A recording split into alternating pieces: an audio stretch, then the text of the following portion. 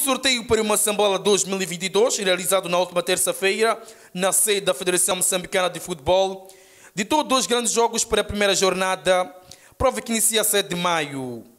Numa das partidas eletrizantes, a Associação Black Bulls, campeã nacional, recebe no campo de Chumene o terceiro classificado da temporada passada, a União Desportiva do Songo, sendo que outro jogo desta jornada coloca frente a frente os ferroviários de Maputo e da Beira no estádio da Machava. O outro despique, não menos importante, da ronda inaugural, realizar-se-á em Nacala, na qual o ferroviário local terá para frente o homónimo de Nampula, destacando-se igualmente a deslocação de Costa do Sol, a província de Inhambane, para medir forças com a Associação Desportiva de Vilanculo.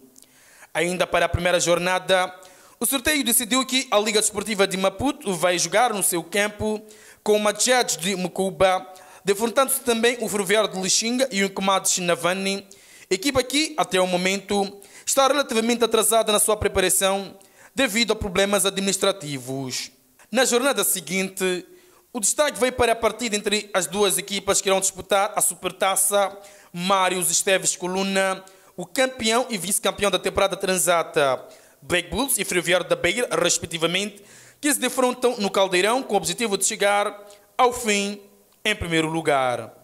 Por seu turno, o Ferroviário de Nampula, orientado pelo português Nelson Santos, jogará no reduto do homónimo de Nacala, naquele que também é conhecido como Derby da capital do Norte.